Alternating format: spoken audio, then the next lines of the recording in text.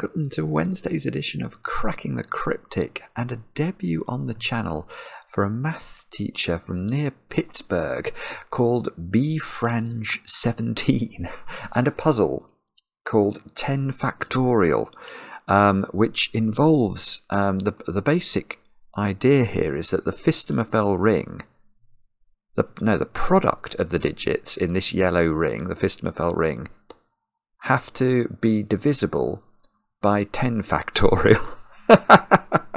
Which is an absolutely brilliant idea. Um, yeah, this is what we're going to have a go at in a minute. In a minute, the testers have had a look at this and say it's great.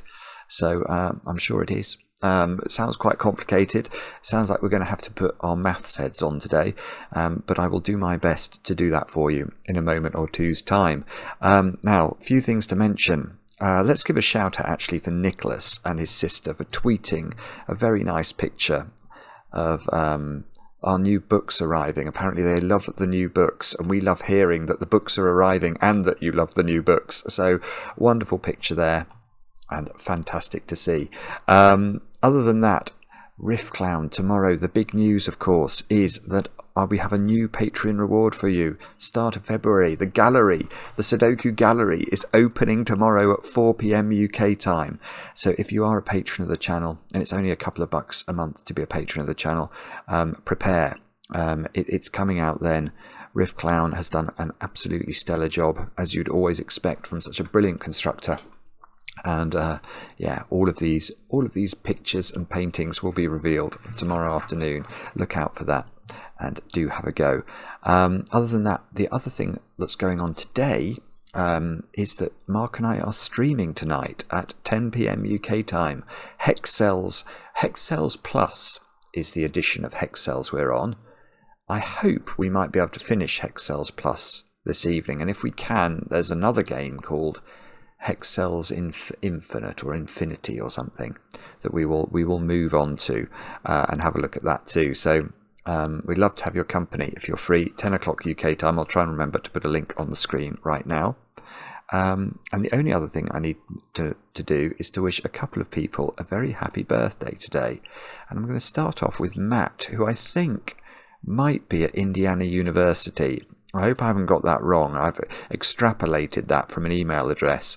Um, but Matt discovered us a few months ago and enjoys the channel. And Matt, thank you for telling us that. And I wish you a very, well, a very happy birthday today with, of course, an enormous slice or two of chocolate cake which hopefully should be made up of mostly icing, of course.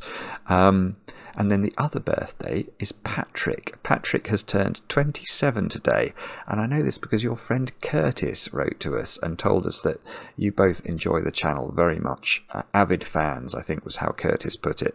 That those are the sorts of fans that we aspire to get. Um, and Patrick, many happy returns. I hope it is a brilliant day with cake, of course. And that's that's all the news. Let us have a look at 10 factorial.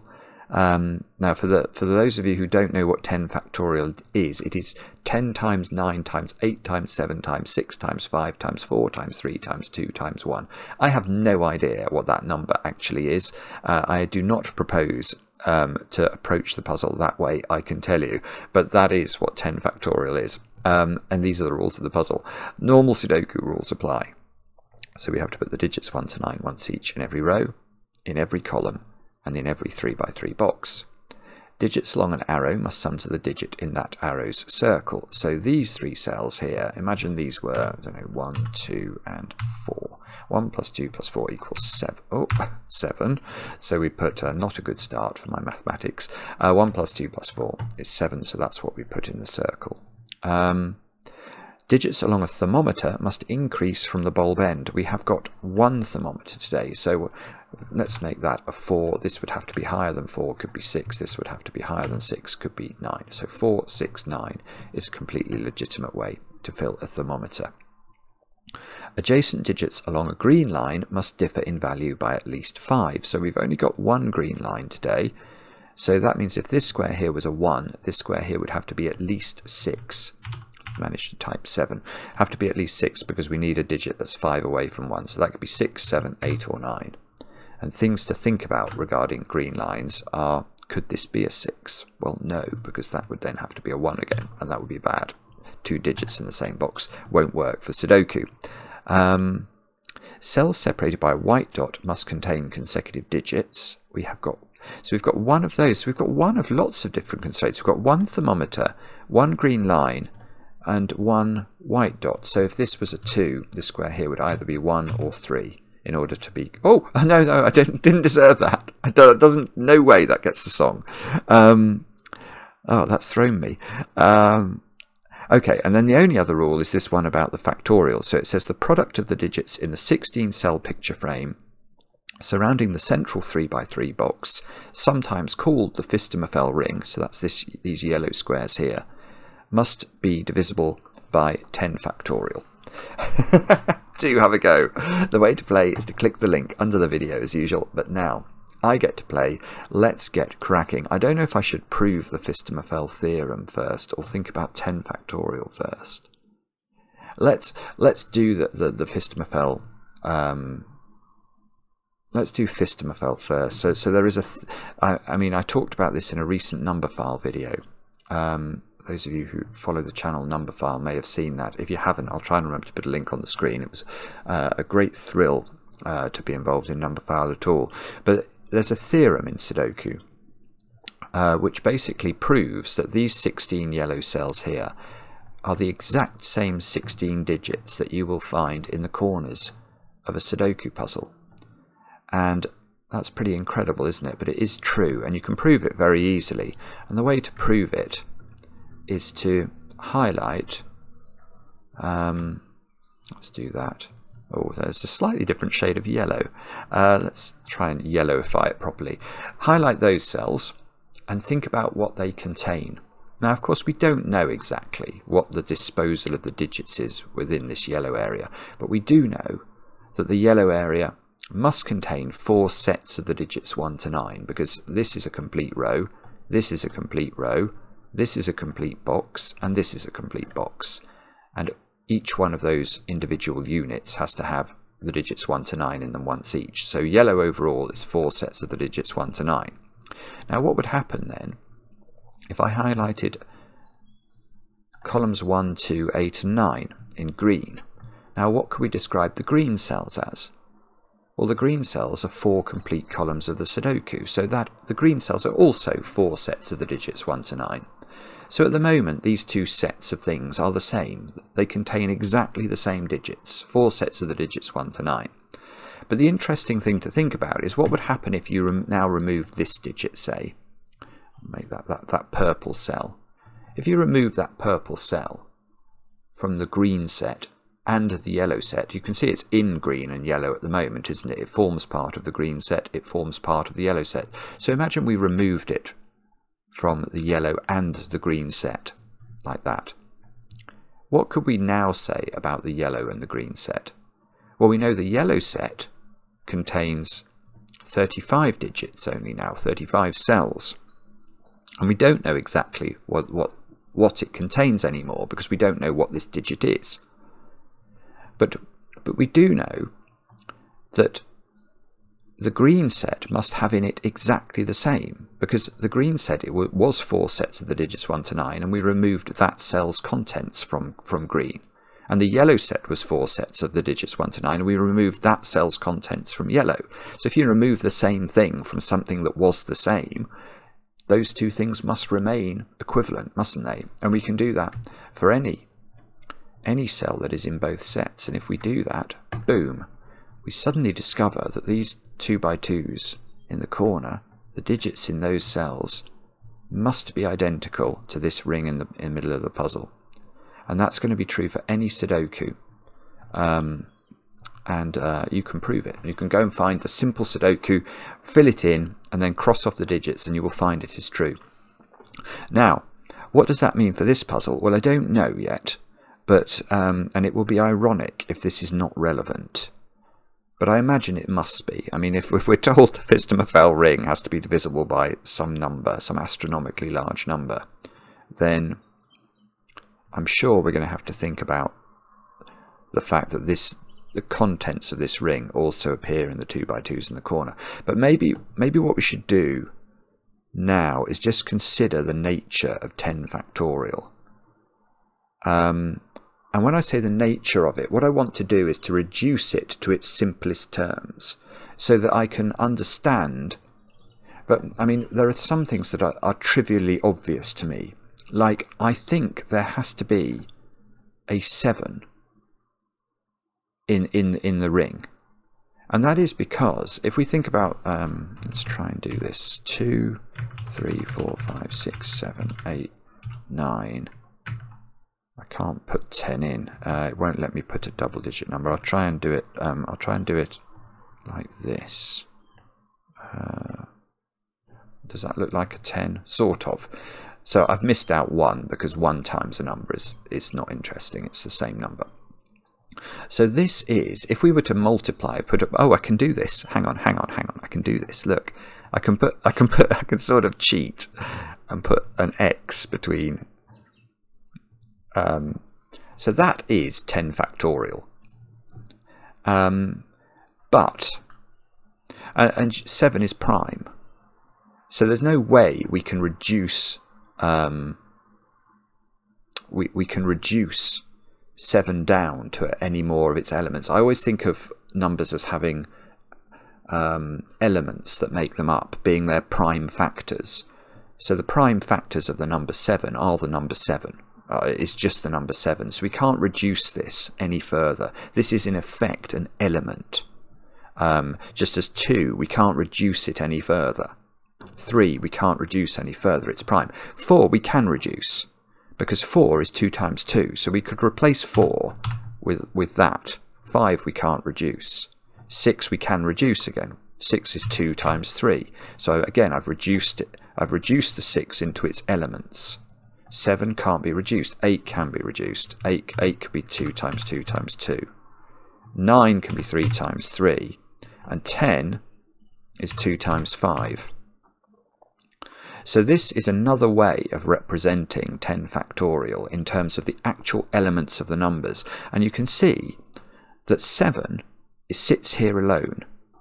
It has no, um, there's nothing we can do with the number, the number 7 to reduce it. So if we didn't put an actual 7 in the ring, let's put an actual 7 in, what would we have to put in in order to make sure that this ring was divisible by this number?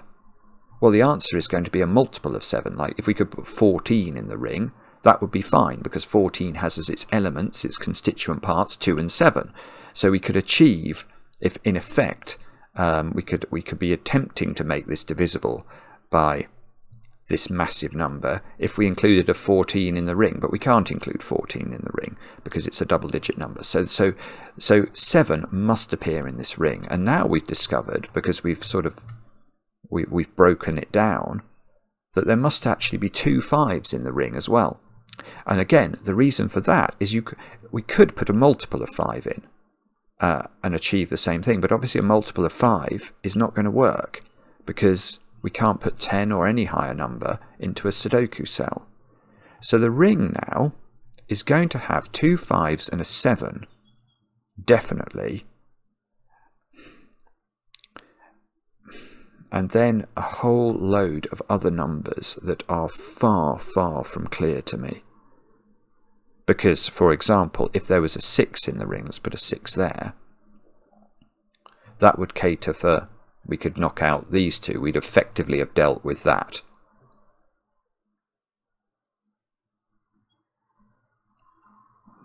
Hmm, that's, this is going to be difficult actually.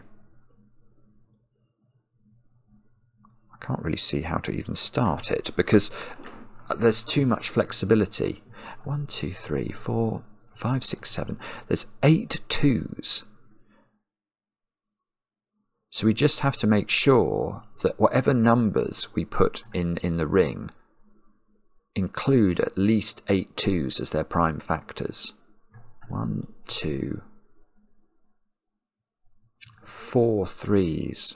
But that doesn't mean that we have to have, you know, four threes around around the ring. Because again, a number like, well, a number like 9, what would happen if you put 9 in the ring? That deals with two of the threes effectively because 9 obviously is 3 times 3 so in terms of dealing with the elements of the number we're, we're doing a good job by putting 9 into the ring. I mean we can't put many 9s into the ring because we've got too many arrow cells.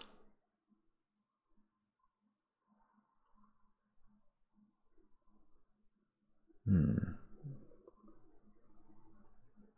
Okay so maybe actually I've got that's what I've got to do No, I was wondering about 7, whether I could force a 7. Because uh, 7 can't go on a 3 cell arrow. That's actually a 4 cell arrow. I mean, that's a 4 cell arrow, but it's, it's less constrained than this one.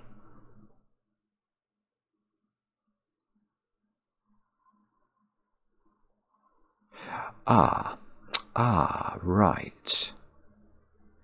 Ah, okay, I've got something here. Right, I'm going to shift this 2. This 2 came out of my factorization of 8.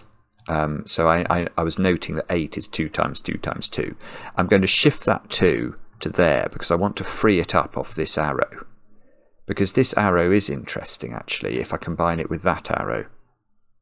So these are these are all the prime factors we've got to achieve at the top. This is not Sudoku. Okay, so everything I've got in the top two rows is nothing to do with Sudoku. But now I'm going to talk a bit about Sudoku.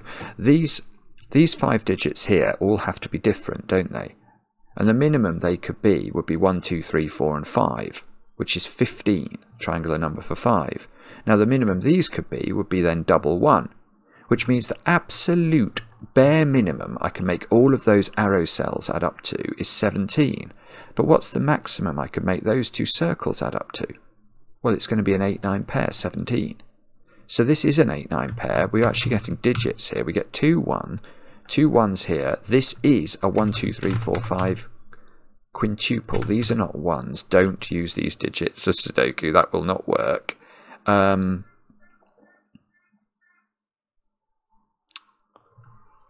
Uh, I don't know if I can do more than that. There's no one on the... This square is at least four now. Because these two squares can't be ones individually. This arrow... Oh, this is seven. Right, okay. Look at this arrow. These three squares are at least one, two... Whoa, whoa, whoa, whoa. They're at least one, two, three, adding up to six. This is at least a one.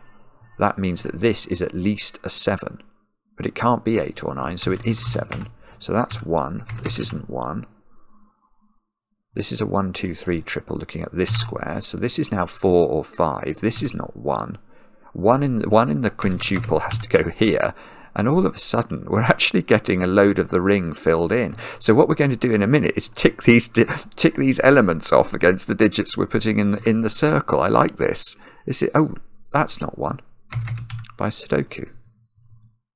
So that's that's the one on the on this strat. So now now ah this is very interesting. No jokes, thank you, about my soporific effect.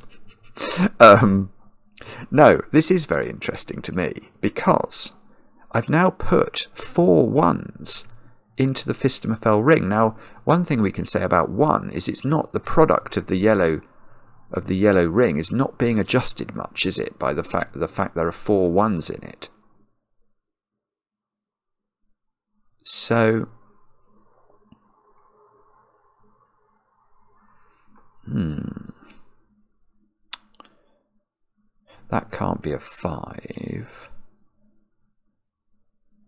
Oh, this can't be a, a 5 or a 4 actually, because if it was 5 or 4, these two digits would add up to 9. And once we added the 1, we'd get 10, and that's can't be 10. So that digit is a little bit restricted. Keep seeing these digits up here. Um,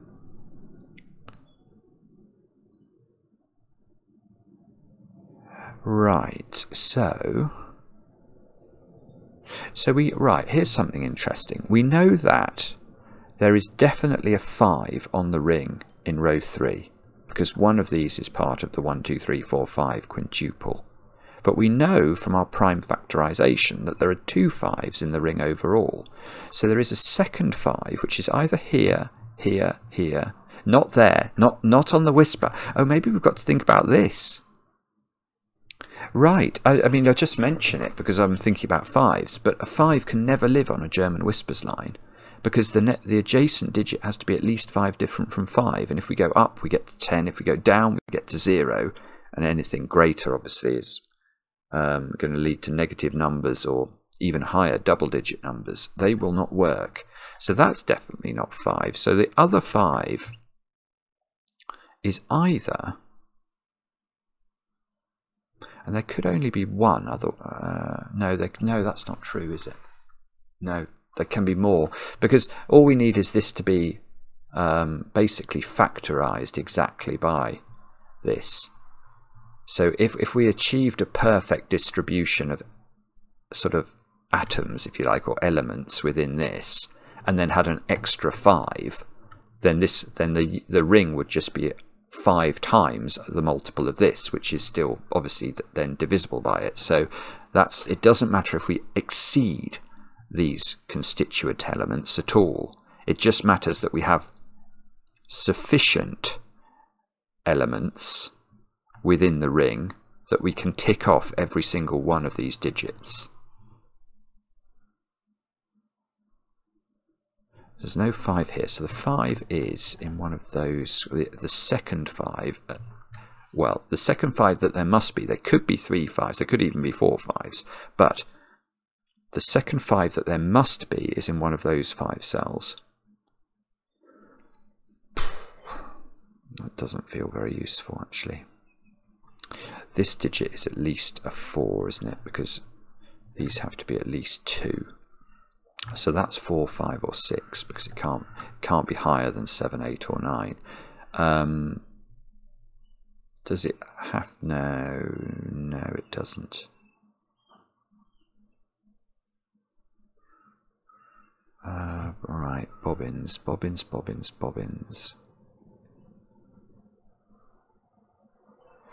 Okay. Um,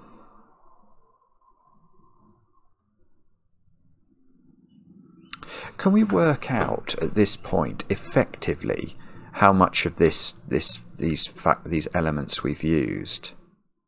Because we've got one. I mean, the two and the three on the ring here effectively deal with these two, don't they? And then we've got two, three, four, and five. Yes. okay, so one way of viewing the ring at the moment is that we've got 6 factorial already on it. That's lovely. Um, so what I'm thinking here is the 2 and the 3 here cancel these two, which were 2 times 3. There's definitely a 4 in that string, so that cancels this double 2 here. That's the 4 factorial part of it.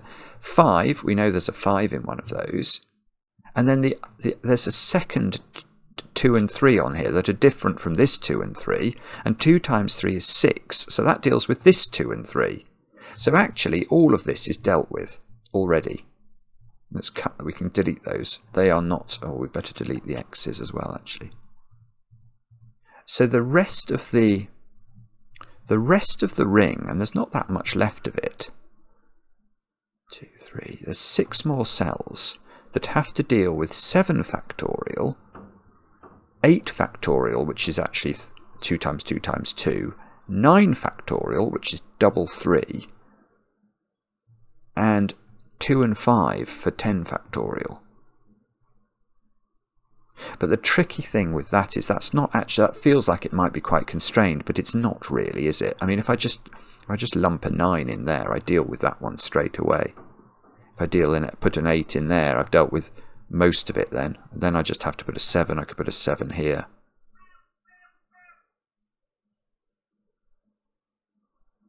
Uh, the other the other thought is you could put a 6 you could start mixing them up you could put a 6 in here and that would deal with a 2 and a 3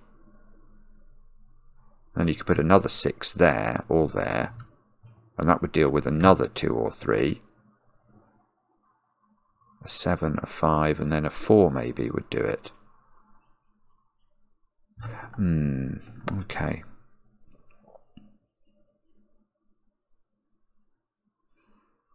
Am I being am I being slow there? Is there some sort of additional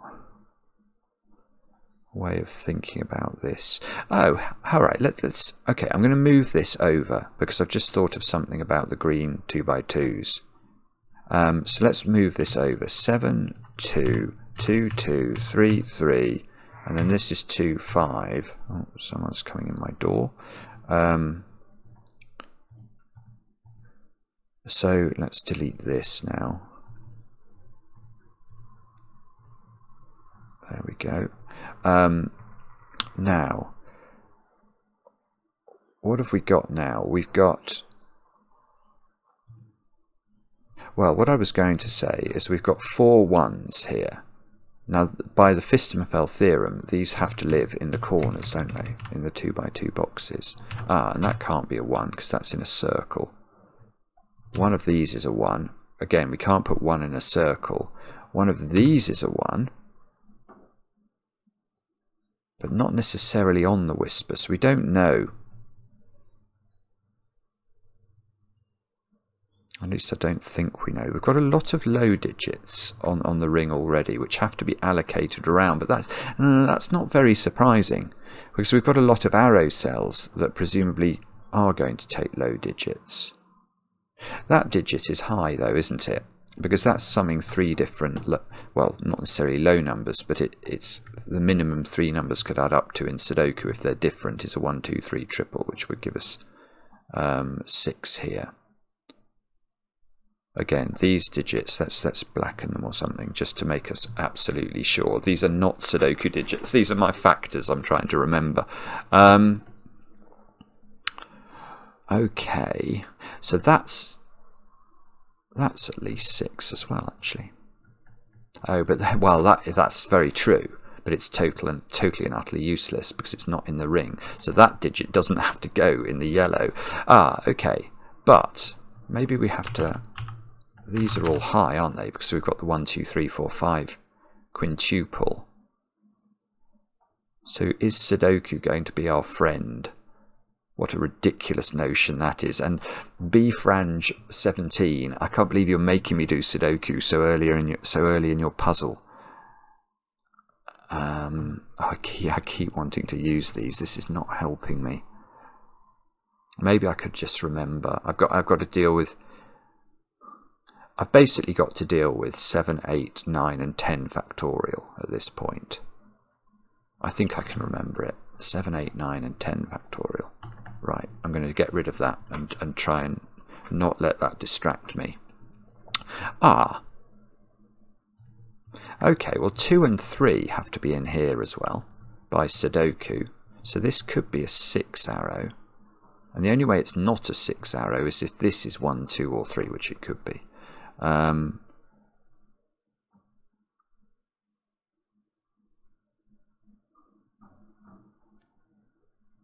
Um, ah, I don't know what to do. Sorry. Uh, um,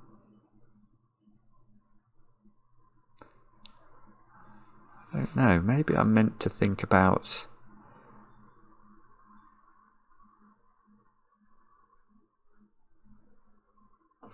these digits have to be quite low, don't they? Because that can't be that high. So these digits are 2, 3, 4. They can't be 5, actually.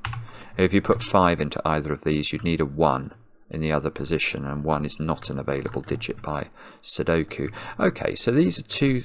Ah, there must be a 2 on one of these. Oh, that would be quite good, because that would tick off part of my 10 fa my, my the 10 factorial part of the equation, wouldn't it? Yeah, I mean, if this... Oh, no, I'm wrong. That could be double three.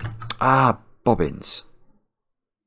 I was, I was What I was going to say is that if you had to have a 2 on here, that would have been useful. Uh, because, But then I was viewing those as a 3-4 pair. And they obviously, 3 plus 4 would add up to too many. But, why, that could be double three, probably. I would knock 3 into this.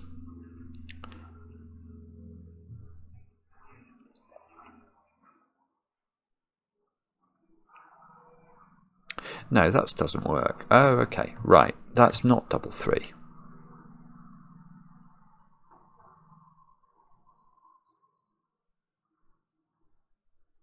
Yeah, that's quite that's weird.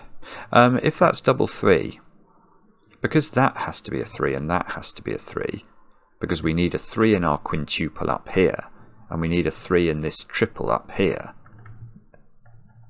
I don't think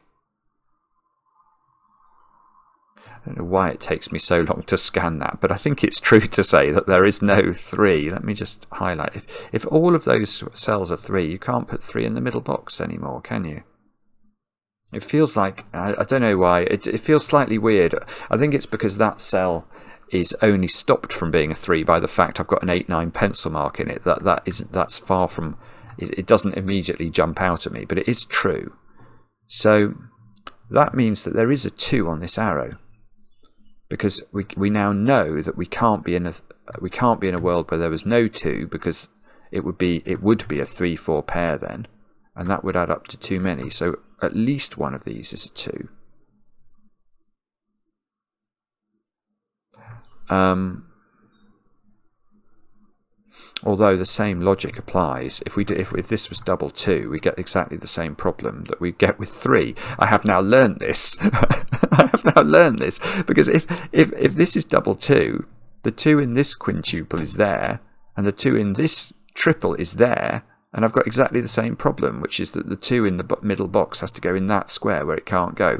Right, so there is exactly one two in here, which means that's not four.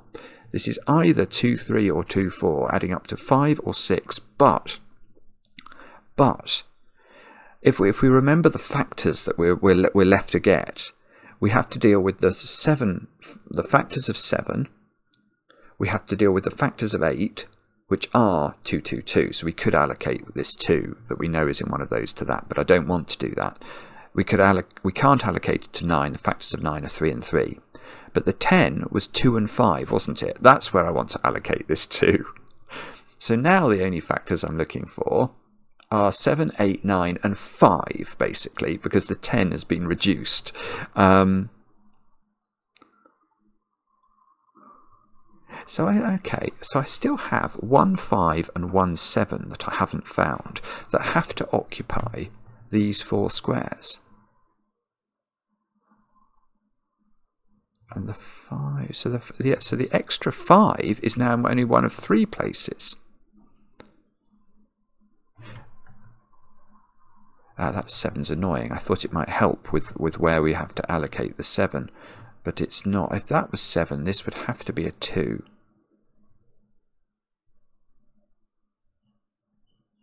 Is that fine? Uh, I don't know. That's a 2, that's a 2. There would be no 2 on here. So this would be 1, 1, 3, 4.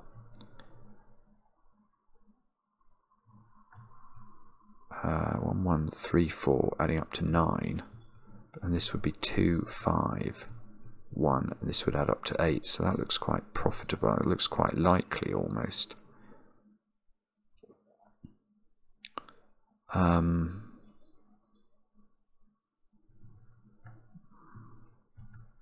that can't. If that's a two, this is at least a three. But I don't think that's putting very much pressure on the thermometer. If that's a 1, that's a 2 on the white dot. So this would be at least an 8 then. One, three, four. If there's a 1 in the corner.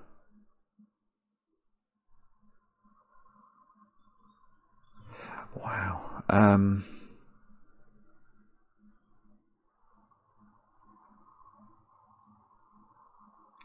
golly gosh, I don't know what to do. Um,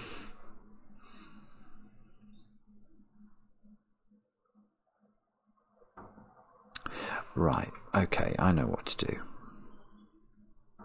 I think I ought to be able to prove that this isn't a high digit actually by the polarity of the whisper because if that's high, so we talked about one secret of the whisper, which is that you can't put 5 on it.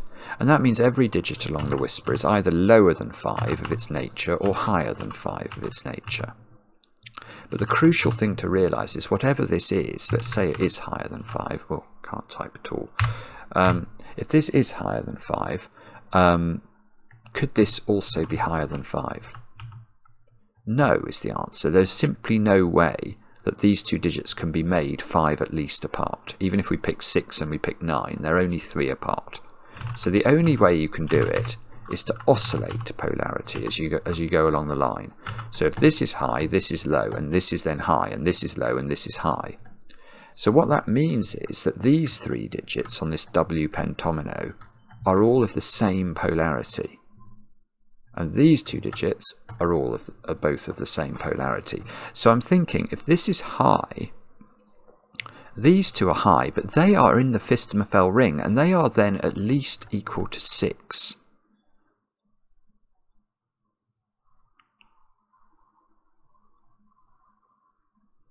So we'd have am I gonna is that fine actually it might it might be fine I was thinking that if if these if this is high both of these are high that's high. That one we don't know about. That might be high. But we've got at least three high digits to put in the ring. And by high I mean at least six. And so far I've put none in. Um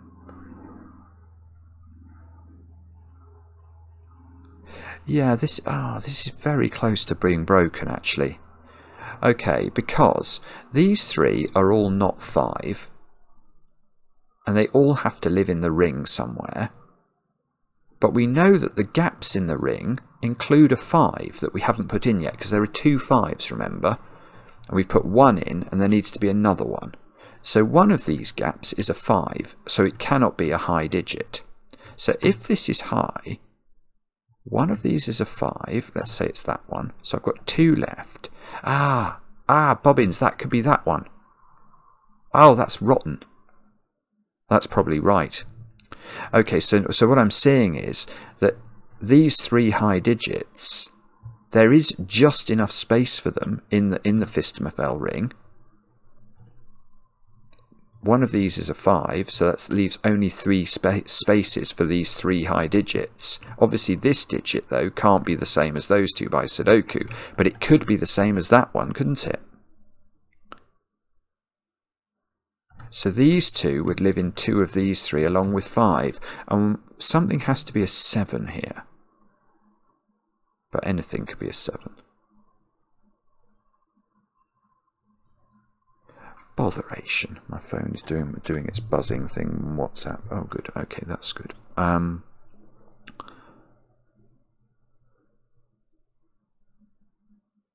let's try it the other way then. Maybe we can prove. I don't think we can prove this can't be low.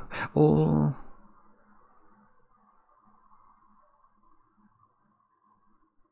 ah, ah, that's beautiful. Right, I've got something here. If that's low that's high. And that matters. And that matters because, uh, so, so let's just say this is low now.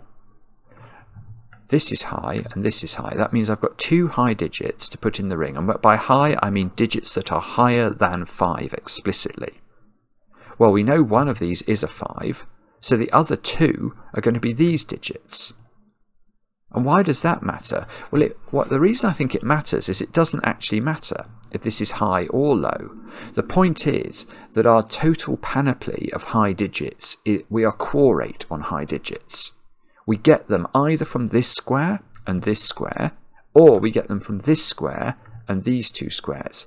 There is no way you can put more high digits into the ring. And that means that everything else that is not one of those four squares in in green is one, two, three, four, or five. Could be five. Hopefully that's clear. Uh, um, so just to run through that again, if this is low, by polarity of the line, that's high. I know that's high as well. Neither of these digits is 5. Where are we putting them in the ring? This is a low digit in this scenario. So we need two digits that are higher than 5 and I can put them in two of those three squares. But the other one we know needs to be a 5 because there needs to be a second 5 in the ring. And eh, on the other hand, if this is high, then these two are high, and these have to find a place in two of these three squares, but one of these squares is also a 5 again. So there's no way we could have a 5, or sorry, a high digit here, because there's no space for it in the ring anymore. And that means this, this is probably the key cell, isn't it? Although that... Right, okay, that this is definitely, this is important because um, in both boxes 1 and 7 I'm going to get a quintuple. By which I mean I now know these squares are low. I know these squares are low. And in each case, look, if I combine it with the corner of the Phistomefel ring, I get a 1, 2, 3, 4, 5 quintuple. So these are 6, 7, 8, or 9. These are 6, 7, 8, or 9. These are 6, 7, 8, or 9. Now, presumably what we're meant to do is to label these up. So we'll label those as orange, which means these are both orange. So these are red, and these are both red. Now, look at this. Those are now red. Oh, that digit is therefore an orange. Oh, that's orange. Okay. I thought this was going to sort of, we were going to be able to sort of domino the grid. There's one orange in here.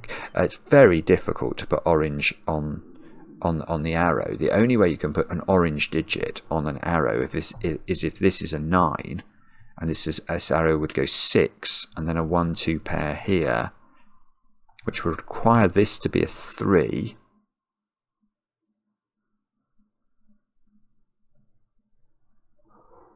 Mm, mm, mm. No, I don't know whether that's impossible or not.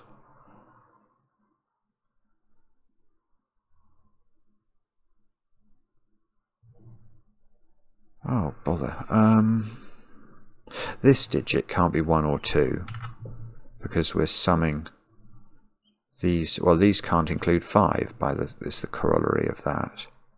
So 5 in this box now is in one of those two squares.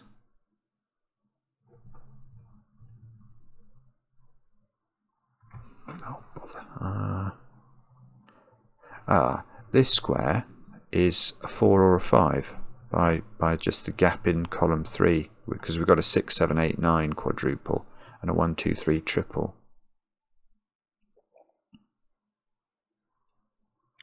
We know this digit is low and that's not 5 now by Sudoku because there's a 5 looking at it from over there.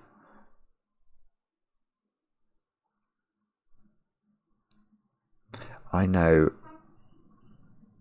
I know these digits are all low as well, don't I? These digits are all low. And that means that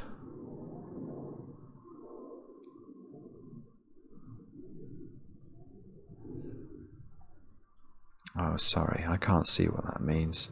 I mean, obviously these are consecutive. I don't know what that's meant to mean.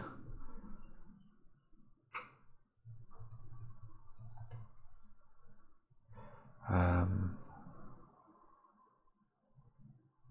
oh, sorry, I'm not sure. Um, what could we do then? We could. I've nearly finished the Phistomefel ring and I still haven't got a clue how to actually. Ah, hang on. That can't be 7. Can that be 7? I don't know is the answer.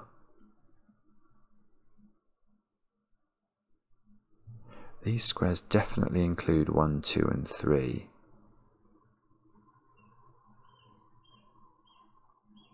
One of those digits only is down here.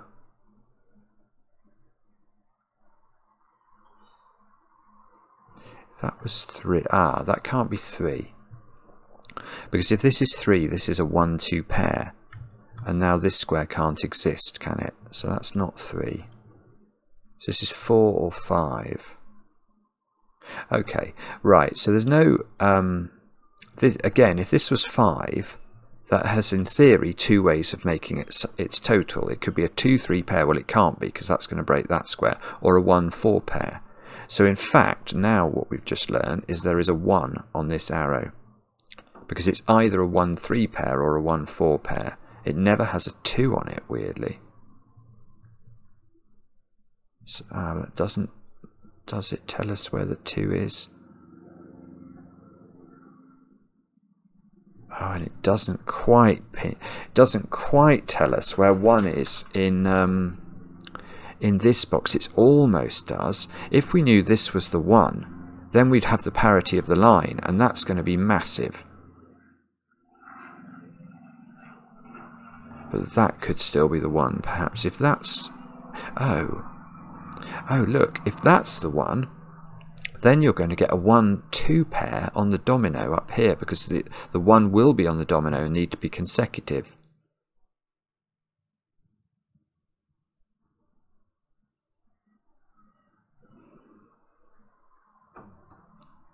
I don't know. This is tricky. It really isn't easy. Um, what should we look at now? How do I not know what the polarity of this whisper is still?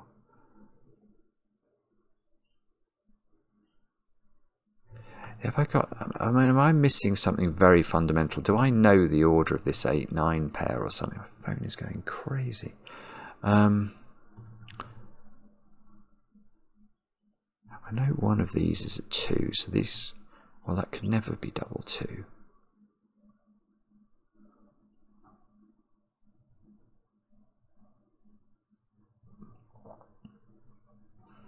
I've got nothing. I don't know. Okay, um, I'm going to have to think much harder, I fear. It's not something to do with where 5 goes in box 9, is it?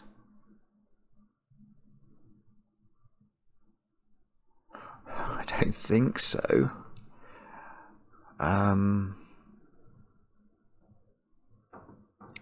do I, if this is low, do I know these are high digits? Is that is that the point?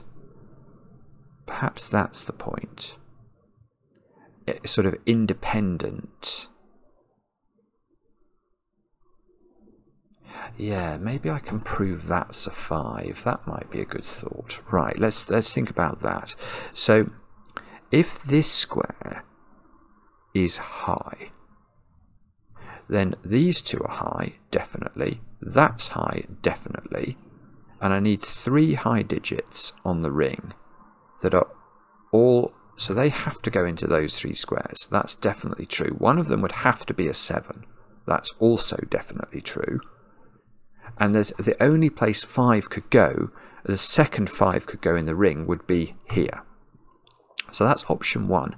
Now, the other option is that this is a low digit. Now, it would then be two, three, or four, which means these two are definitely low, but this is now high, this is now high. And I've only got, yes, I've only got two spaces left in the ring. Right, that's it. That's the key thing. So still, I don't know this line's polarity still, but I do now know these are both high digits. And therefore, and oh, do I know one of them's a 7 or can that be a 7? Don't know. Might be still possible for that to be a 7. But I do know that the second 5 on the ring now has only one possible location, which is there. So that's 5, that's 4. There's no 4 in this top thingy. Um, Okay, well that means I can knock 7 out of it, because 7 would require a 1, 2, 4 arrow. In fact, there, there is now 1 on this arrow, because otherwise it adds up to too many. It's 2, 3, 5, which adds up to 10. So there's definitely a 1 in here. Ah. Ah, well now this can't be a 2 because that would that would make this a 1, 2, 4 arrow adding up to 7. So that's now a 3. This could be it now. We could be back in business. Okay, so this arrow is... yeah, so this is now 8. This is 9.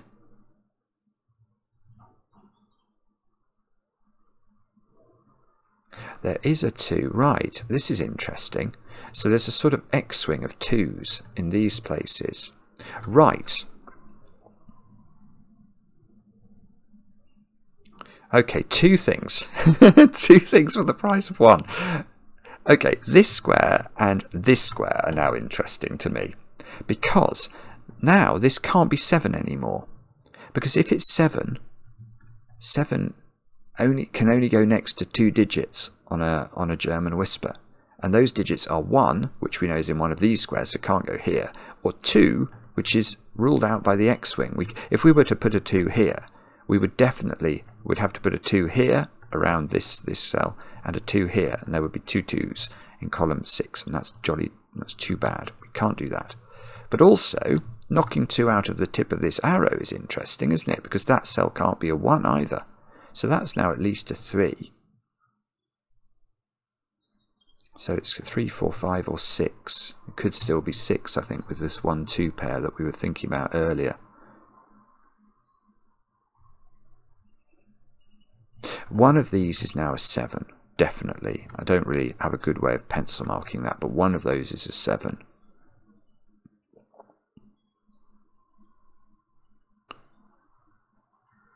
We've, dealt, we've now dealt, because we've got the 5 in here, we've now dealt with completely the factors of 10 that we were trying to find. So we've still got to find the factors of 7, which we know is in one of these, 8 and 9. But to do that, we've still got sort of four spare cells to do it. And one of these is a high digit that's not 7 and that could be a high digit that's not 7 so we could be going straight over the top here.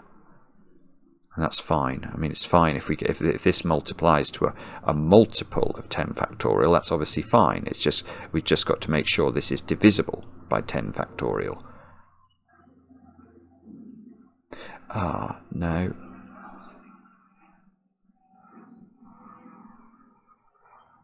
That's an orange digit. That's probably worth notating, isn't it? Because it can't be a red digit, but it is it's high enough that it must be either red or orange. So there's one orange over here.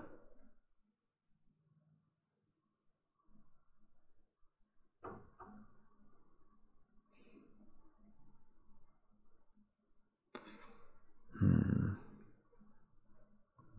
So if this is low, what are we then saying? Are we saying anything? Well, if this is low, we know it's not 2 and it's not 1. So if this is low, this is 3 or 4. Whatever it is can't then appear around this arrow, can it? So because a 3 or a 4 here knocks that digit out of both of those arrow tips. So whatever this is, well, okay, so that is a 2, 3, 4 triple then. Well, that's if this is low though, which it doesn't need to be.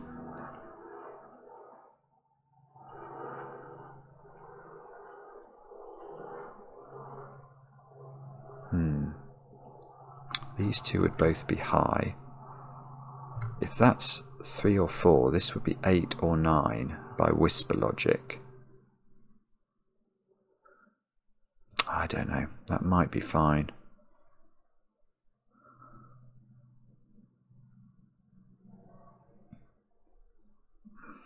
Wow, I don't know what to do. Um,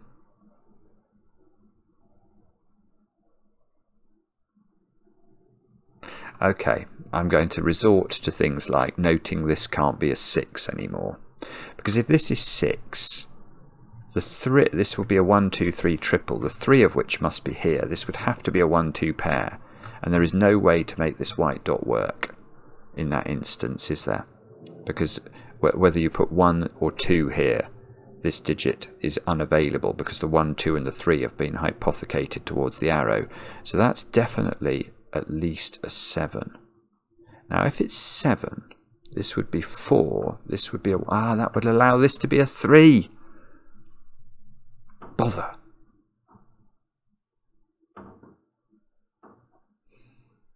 Bother. okay, that didn't work. Um, that did not work.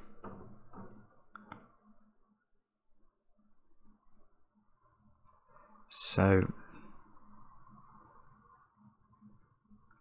so if this is high, these two are both high. These two are the same as those two, one of which is a 7.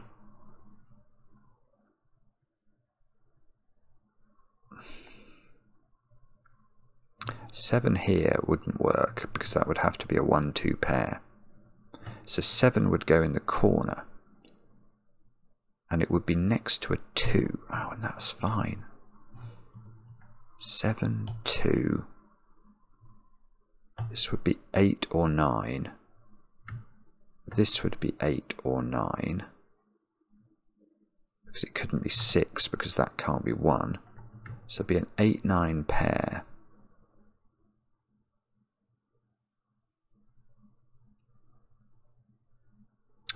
Maybe it's Sudoku. That's I mean that's most likely the thing I'm missing, isn't it? There's a 3 in one of these squares.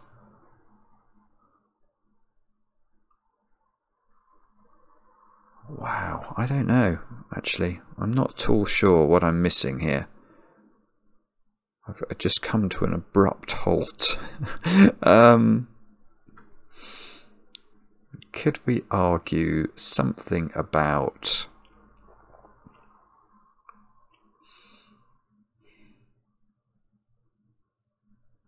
Oh, I've nearly got a sort of quintuple going on in row in row 2. It depends what this is. If this is anything apart from 6, I do have a quintuple.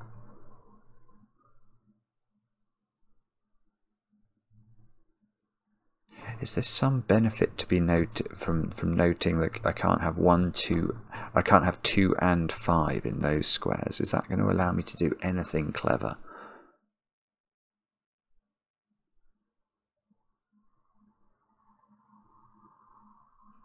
Well, it might do, but I don't know. I don't know what that thing is.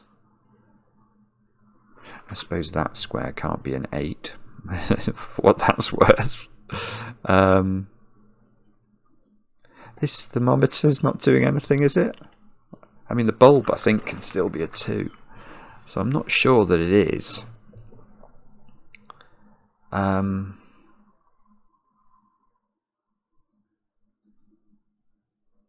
Wow, I don't know what to do. I, I, think I think there's probably a way I'm meant to know what the um, the polarity of this line is, but I can't see how to do it.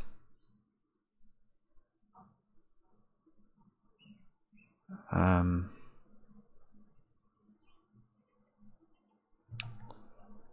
I, have seen I've seen that if this is low, I've got a triple, and that's not putting the only other thought I might sh I should probably just think about is I've got to make sure that those so two, three, and four. I'm trying to remember which factors I had left. I think from memory, yeah, okay. We had, we know one of these is a two. So yeah, the combi these digits here, combined with the two on this arrow, eliminated two, all the factors of 2, 3, 4, 5, 6 and 10. So we need 7, 8 and 9 to be dealt with. We know 7 is dealt with by one of these. Um, the 2, 3, 4 here. Oh, well no, that's only 3 and 4 I've not used actually.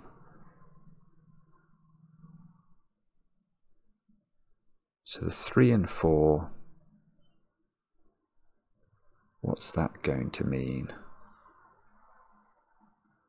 I almost need a pen and paper to sort of note this down. Actually, it's quite complicated. So I've got what I've got to deal with. Let's put it in up here in small. I've got I've got to deal with seven, I've got to deal with eight and nine.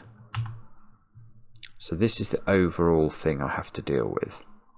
And I would have a three, and I would have a double two. So then I need I need I still need a 2 and a 3 from these digits. So I couldn't use 8. And I couldn't use, so I'd have to use 6. That's crazy. Is that right? That's absolutely crazy if that's right. I'm going to, sorry, and I realise I'm sort of probably about to repeat myself, but I'm going to do that again because I don't trust it.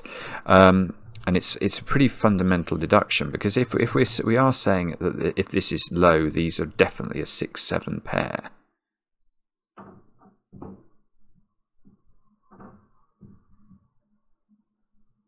well, then I can disprove the work. I, that that's absolutely huge if I can do that, because I can see how that's going to break this column. Ooh, this is this is huge, right? So I need to really concentrate. So let's go through it. I do know, and I'm very confident, that these squares deal with all of the low numbers. 2, 3, 4, 5 and 6. And that, when, when I increase the, include the 2 on that arrow, I also deal with 10, because I've got two 5s now. So 5 times 2 is dealing with 10. So I've got to deal with 7, 8, 9. One of these is a 7. So I've now got to deal with 8 and 9. Now 8 is 2, 2, 2. 9 is 3, 3. And I've got a 3, 4 in this quadruple. So that deals with 1, 3 and two twos. So I need a number. The number that is not 7 in these two has to have a 2 and a 3 as its prime factors. An 8 only has 2s, and 9 only has 3s, so 6 is necessary. So this is so if this is low, this is a 6-7 pair. But if this is a 6-7 pair, and this is low, this is the 6-7 pair that we're looking for, because that's where those numbers go in the Phistomefel ring. But if that's a 7, which it would have to be in this paradigm, and that's a 6, because it's the high digit on the whisper that goes in the 2 by 2s that cannot be a 6, because 6 on a whisper there is going to cause double 1. Good grief. So this is not low, this is high. Which means it's, it's not 6, it's 7, 8 or 9. It's not 6 because we can't put 1 underneath it by whisper logic. But now this is not 1 because these are all of the same polarity. So I get the 1 in this box after a long time of thinking. I knock 1 off this. So this is the 1 in box 3 which means that's a 1 in box in box thingy thing up here. This oh it can be. It can be all still can be 6 8 or 9 that's weird. Is that really true? Hmm apparently it is. How annoying. Um, okay there's a 1 here by Sudoku. How many ones have I got in the grid? Most of them all of them. All of them. We've done all the ones. Okay, well that's good. Uh, we know these are high, don't we? But we now we now know much less about their actual. Well, actually, we know they're seven, eight, nine, triple. That is true because we can't put six on this whisper because one is not available. So this is seven, eight, nine. Ah, much more important. That's orange. Look, by by the power of row seven. So that's orange. And that digit is the same as that digit, isn't it? Because we know that orange and red are uh, sort of definitionally different from this box originally. So these two digits are now the same digit.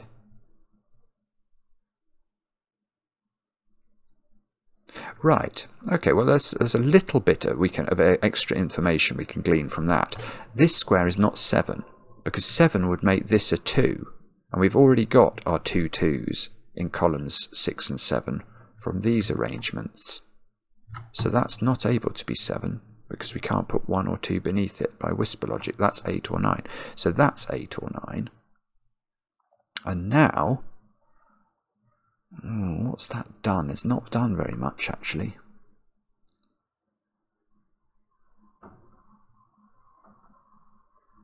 That's really not done very much, has it? That's a bit a bit disturbing. Okay, this digit is 3 or 4 because it's not 1 or 2 and it has to be on the whisper. It can't be 4 because if it's 4, we have to. 4 is monogamous on whisper lines. It has to be surrounded by 9 on both sides. Right, that's 3.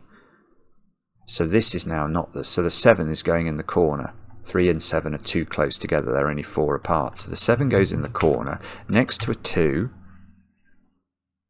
This is not 7. This is not 3. Oh no.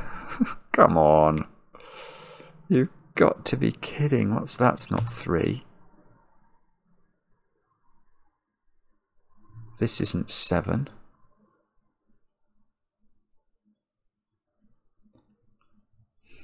Oh, I'm so sorry if you can see how to do this now. Well done. This, I mean, this is a magnificent puzzle, but it's not. I don't think this is easy at all. I can totally understand why the testers liked it, though. It's it's very clever. Um, right.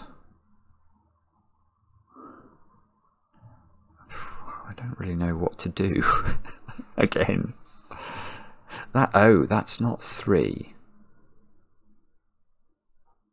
Right. Okay, here is a point then.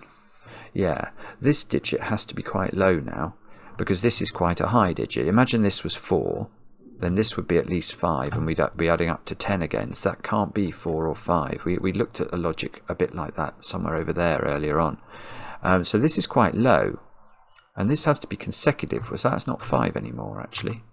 That's the straightforward corollary of that. In fact, another point, there has to be an odd digit on here. And that's going to have to now be 3. Which means 3 is in one of those cells by Sudoku.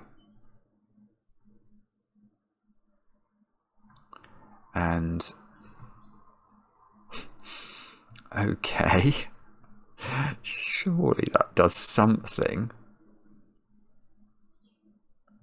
Oh, no, this is ridiculous. How can that not do anything?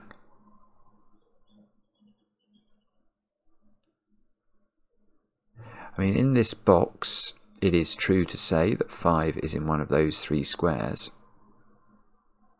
I might as well notate that. That means in this box, 5 is in one of these two squares. Uh, in fact, okay, here, ah, is this a 4-5 pair? Yes. Yeah, um, if we look at, I've got all four high digits in this row already. So these digits have to, and they don't include 1, so these are from 2, 3, 4 and 5. There's 2, 3 here, so this is a 4, 5 pair. And that's going to give me this digit, that's a 6 from nowhere. So that's not a 6. That's not a 6. That's not a 6. Now I've got a 245 triple in this column. Oh, that's broken. No, has that broken everything? No, that's okay, isn't it? Because I've still got one more high digit to put in this column. That's got to go here.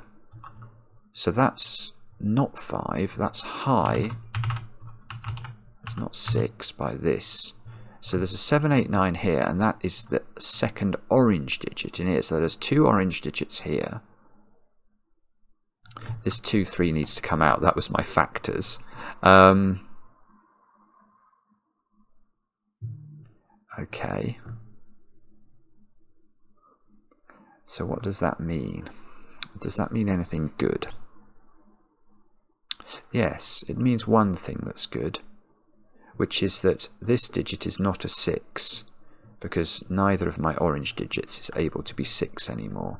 So 6 is definitely a red digit, which means 6 is a red digit there, which means 6 is not an orange digit. 6 is not an orange digit here. So this now has to have 5 on it, look. Because 1, 2 and 3 would add up to 6, so that's not 5. This is a 2 or as a 2, 3 pair in the row. This 5 is seeing that square, so that's become a 4. That's become a 2. That's become a 2. That's become a 5. 4 gets knocked off here. So this is a 2-3 pair now. Yes, that's fine. That's absolutely fine. I didn't say it. I didn't say her name. But look, this can't be... This is going to give me a 3 in the corner. be quiet. Um, this... this if this was 2, this would add up to 7, which it can't do. I can't remember why we worked out that couldn't be a 7, but it definitely can't be. Was it something to do with that digit? It, I think it was, way back, way back a long time ago. So that's that's 3 in the corner. That's 3 in the spotlight, losing its religion. And I think, did I... I think I might have put a 3 in there earlier and not deserved a 3 in the corner, but now I get a real 3 in the corner that I do deserve. So this is 135. That adds up to 9. So one of these is a 9 now. Um, And in fact, well, that one's adding up to, oh, I see, that's adding up to 8, so that's 9, so that's 8. So, na so now, orange, wherever it occurs, is an 8, 9 pair, which means that's 9, that's 8, that's 9. And finally, I thought this is 6 now by Sudoku, so that's 6, that's 7. And I'm a little bit more confident that we might get to the end of the puzzle now. That's probably famous last words, let's hope not. Um, Okay, so we've got a lot of stuff going on all of a sudden. Um, I've got a 4 looking at that digit. Yes, okay. So this is a 3, isn't it? It can't be double 2, so this is 5. Uh, by maths. um, then we can say that's a 2, that's a 3. That's a 3 by Sudoku. These squares are 2, 4 and 6. That's very odd. That seems to they seem to have no digits looking at them. Um, this is a 7. Uh, so that's that's the 7. I didn't say it again. I said that's a 7.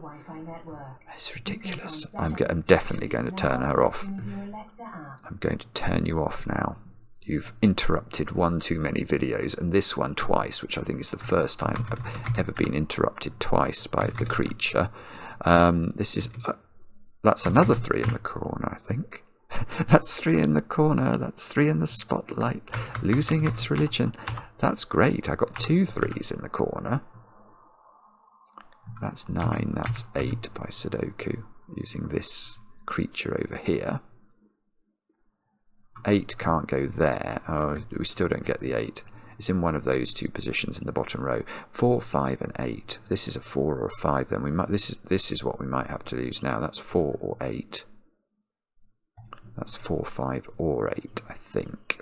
So this digit is at least equal to it's not 5, it's at least equal to 6. Um so that digit's at least equal to 7 but it can't be equal to 8 because there's an 8 here. So that is 7. That is 6. That is not 6. That digit is 2 by the power. The power of Doku coming to our rescue. That is now not 4. We've chocolate teapotted the bottom row. Ah! Oh, bobbins, we really have, I think. But we've, we've done everything. It should just be Sudoku now. I think we've used all the constraints. So, okay, so 4, 6, 8. So that's 6 or 8. That's 4 or 6. That's not going to help, is it? Let's try this column. Um, 4, 5, 7. That's a naked single 7. That doesn't help us. So this is 4 or 5. Oh, the 7, I see. So the 7 does that. That's a 6. That's an 8. So that's a 4. That's a 5. That's an 8. That's a 6. And the top of this column is 5 and 9, which we can... Oh, I see. 5, 9, 4 get filled in. And I don't see how that's resolved. Not sure how this is resolved. Maybe it's row 6 then. 4, 6, 8, 9. So that's 4 or 6. And that one is 6 or 9. Still not quite done, is it?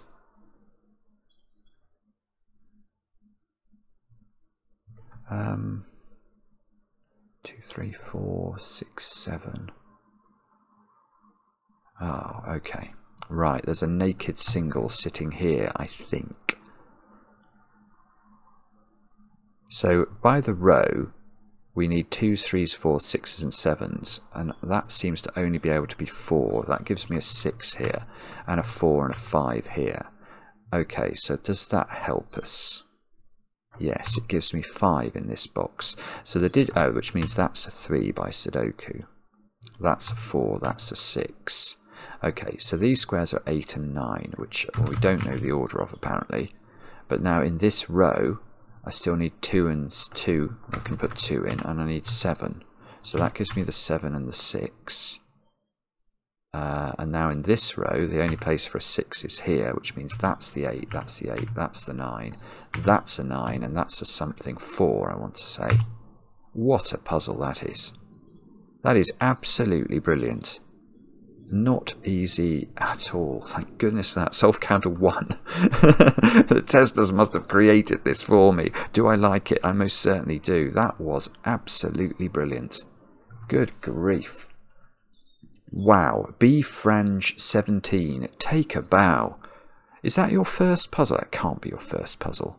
And let's, I think what we should do, actually, just to be diligent and make absolutely sure, is I just want to check that this ring is, the product of this ring is a multiple of 10 factorial. So let's do it slowly. We'll, we'll deal with 10 first. So 10 is 2 and 5, isn't it? That's done. 9 is double 3. Oh no, hang on, I'm going to do 9, just using the simple 9. I'm going to do 8 using the simple 8. I'm going to do 7 using the simple 7. So now we're on to 6, and we don't have a 6 in the ring, so let's do 2 and 3.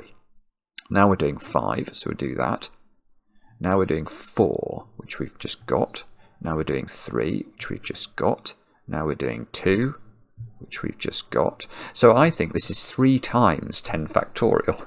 I don't know if that's right. I'll, I'll, rely on the comments from erudite mathematicians to tell me if that's correct. But we, we basically used the elements of numbers to crack this. Um, but it wasn't it wasn't easy, at least not for me. I mean, goodness only knows what I missed throughout that solve. But what a fascinating puzzle! Another quite long video, um, but I hope you don't mind. I mean, we, we, we try to find the very best puzzles in the world, and no no one will convince me that that's not one of them. Brilliant, loved it. Let me know in the comments how you got on. I enjoy the comments, especially when they're kind, and hopefully see you shortly for a Hexcells stream. Bye for now.